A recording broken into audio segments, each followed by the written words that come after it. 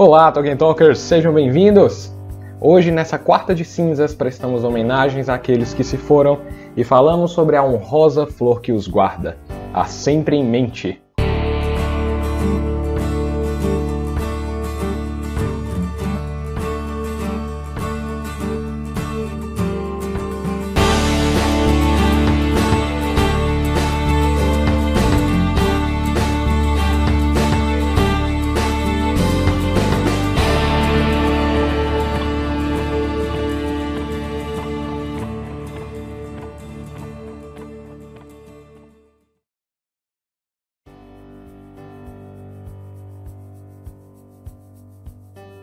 Pois então, conforme dito e garantido, trazemos o TT sobre a flor mais conhecida como Simbelmine. Esse TT vai para o Lucas Pedro, meu caro César Augusto, a nossa consultora especialista em flora Carla Fernanda Reis e a todos que prestam hoje seus sentimentos, em memória àqueles que nos deixaram e partiram para além dos portões do mundo. Antes de começarmos, não esqueça de dar seu like, se inscrever e ativar notificações para não perder nenhum novo vídeo. Vamos então começar pela origem da palavra. Apesar de Simbelmine ser seu nome mais conhecido, esse é apenas o seu nome em Rohan, na Terra dos Cavaleiros. Tolkien possivelmente se baseou nas palavras Simbel, sempre, e Mine, mente, ambas do inglês antigo. Logo, sempre em mente. Tolkien inclusive diz em uma de suas cartas que se orgulhava muito por ter criado esse nome para essa flor. Mas esse aparentemente era apenas um dos nomes dessa florzinha, os elfos a chamavam de Uilos, Sindarin para Ui, Ever, e Los, Snow. Logo, sempre neve ou sempre branca. Um fato curioso é que Tolkien, em duas ocasiões, em cartas, soletrou a palavra Simbelmine com Y, são as cartas 93 de 1944 destinada ao seu filho Christopher e a carta 187 de 1956 destinada a H. Cotton Minchin. Isso poderia significar um alinhamento do próprio Tolkien a preferir essa tipografia, principalmente se considerarmos a distância entre as duas cartas. A primeira precede a publicação do Senhor dos Anéis por 10 anos, enquanto a outra o sucede por 2 anos. Mas, de qualquer forma, o que permanece como canônico é o que foi publicado nos livros, que é a tipografia com I. Irônico que mesmo o próprio Tolkien acabou sendo vítima do seu próprio legendário, né? Vejamos então como Tolkien descreveu essa flor em seu legendário. Vamos passar pelo trecho mais famoso que está lá em As Duas Torres, quando Gandalf chega com Aragorn, Legolas e Gimli em Edoras. O texto então diz: Ao pé da colina, protegida por muralhas, o caminho passava sob a sombra de muitos montículos altos e verdes. Na face oeste destes, a grama era branca, como se estivesse borrifada de neve. Pequenas flores nasciam como inúmeras estrelas por entre a turfa. Olhem, disse Gandalf, como são belos os olhos claros em meio à relva. São chamadas de sempre em mente, Simbelmine nesta terra de homens, pois elas florescem em todas as estações do ano e crescem onde os mortos descansam. Olhem, chegamos aos grandes túmulos onde dormem os antepassados de Théoden. Bom, nos é dito bastante sobre a flor aqui. São de fato brancas e florescem o ano todo. Detalhe que o mente é uma referência à memória, à lembrança daqueles que se foram. Se dá pelo fato dela crescer em especial abundância em túmulos e tumbas, como é o caso no campo dos túmulos onde estão os grandes reis dos Rohirrim. Mas elas não nasciam apenas em Rohan. Lá na Primeira Era, Tuor, ao chegar em Gondolin, passa pelos sete portões que guardam a cidade antes de contemplar o vale de Tumladen. No momento em que Tuor cruza o quarto portão, o portão de ferro forjado, e caminha para o quinto, é dito que então Elemaquil andou à frente e eles o seguiram, entrando na luz pálida. E Tuor viu ao lado do caminho um gramado, onde cresciam como estrelas as flores brancas de Uilos. Há sempre em mente que não conhece a estação e não murcha. E assim, maravilhado e de coração leve, foi conduzido ao portão de prata. Esse é um trecho de A Queda de Gondolin, capítulo A Última Versão. Detalhe interessante é que apesar de no conto de Tuor ela ser chamada por seu nome élfico de Uilos, Tolkien aparentemente quis enredar a trama, pois sempre em mente foi seu nome em Rohan, sendo uma tradução direta do nome Simbelmine. Tendo escrito a última versão da Queda de Gondolin em 1951, apenas alguns anos antes do lançamento do Senhor dos Anéis, que era um período em que o manuscrito já estava basicamente pronto, a intenção de Tolkien aqui pode ter sido a de ligar um encontro entre eras, mostrando que a flor vista em Rohan também cresceu um dia muito a oeste nas terras férteis de Beleriand. Portanto, vejam só que interessante, a flor não crescia apenas em Rohan. Qual seria então o melhor paralelo da sempre em mente no nosso mundo primário?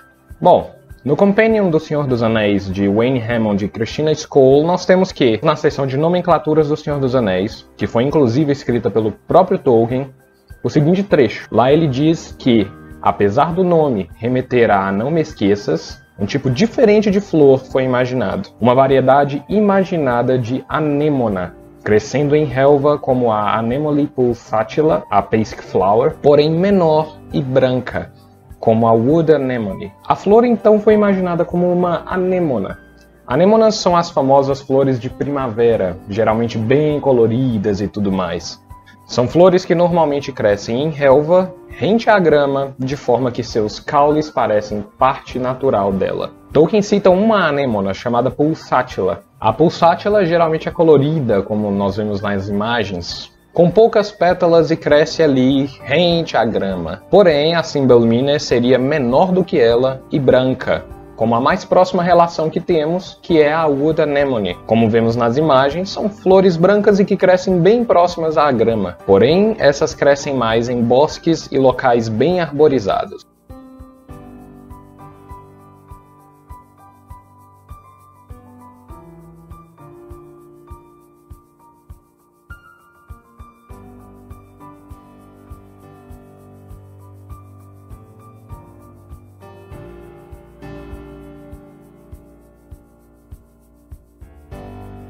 É engraçado como essas flores reais se parecem com as flores dos filmes do Peter Jackson, não? A grande diferença é que a flor que aparece nos filmes, na verdade, ela não existe. Ela foi inteiramente feita digitalmente, pois como o próprio Peter declarou nos apêndices dos filmes, ele não conseguiu encontrar uma espécie de flor que fosse tão fiel à própria descrição de Tolkien para colocar no filme. Convenhamos que sem assistir aos apêndices dos filmes é bem difícil notar, não é não? Mas vamos então passar por algumas curiosidades sobre essa flor. Notem que é forte a conexão e relação do ato de ver essas flores com o ato de observar estrelas. Com Tuor, ele viu ali, em meio ao caminho entre os dois portões, um gramado salpicado de estrelas. No Senhor dos Anéis é dito que eram pequenas flores e nasciam como inúmeras estrelas por entre a turfa. É engraçado porque ao se lembrar de entes que já se foram, costumamos olhar bastante para o céu, onde encontramos de fato as estrelas. Também nos é dito novamente que ela não conhece estação e não murcha. É um paralelo bem interessante esse daí. Um outro detalhe que nos é dito ainda na queda de Gondolin ou nos contos inacabados, é que a flor trouxe a Tuor um certo vigor, pois ele, após visualizar o gramado de Willos, Maravilhado e de coração leve, foi conduzido ao portão de prata. É provável que a beleza da flor era tamanha ao ponto de realmente revigorar e trazer esperanças para um coração amargo. É bem bacana isso, não? Uma outra questão é que lá na História da Terra-média, livro 8, A Guerra do Anel, Christopher Tolkien nos diz que nos primeiros rascunhos do Senhor dos Anéis, Tolkien descreveu que os túmulos em Edoraz eram brancos com flores que se pareciam com flocos de neve. Essa descrição se enquadra na da atual Nifredil e aparentemente foi alterado para O Senhor dos Anéis. É interessante como há sempre essa intercambialidade na obra. É como se o próprio Tolkien já tivesse tudo escrito, porém apenas remanejando, definindo o que e aonde, quais, quais blocos de texto iam em quais lugares e alterando o significado de algumas coisas conforme a necessidade.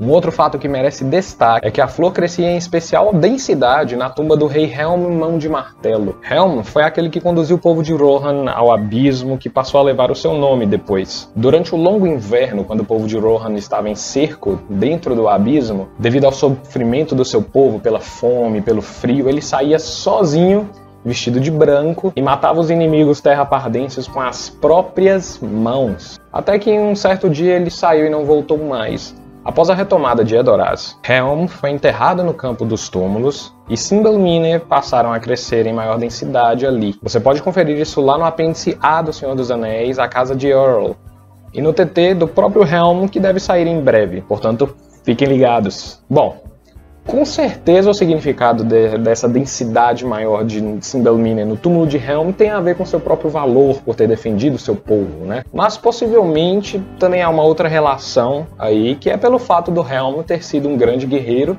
das neves. Qual a flor carrega neve em seu nome?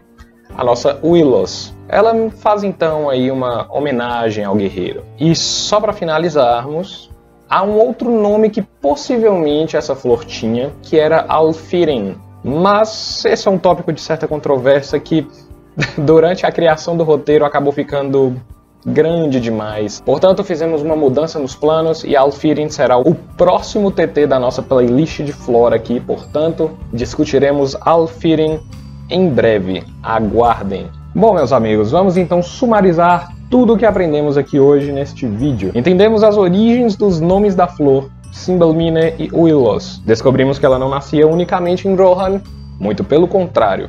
Está presente em outros lugares e até mesmo em outras eras. Encontramos seus paralelos mais próximos do mundo primário, que são lindos de se ver, e vimos mais uma vez como o próprio Tolkien acabou sendo vítima de seu próprio legendário, o que provavelmente era um deleite até mesmo para ele. Então é isso, meus amigos, eu espero que vocês tenham gostado desse TT sobre a flor Cymbalmine. Se você ainda não deu seu like, não se inscreveu ou ainda não ativou notificações, faça isso agora. Você pode nos acompanhar também pelo Facebook e pelo nosso grupo de discussões lá, que é o Dragão Verde, e também pelo Twitter e Instagram. Portanto, mais uma vez, muito obrigado, meus amigos, e até o próximo vídeo.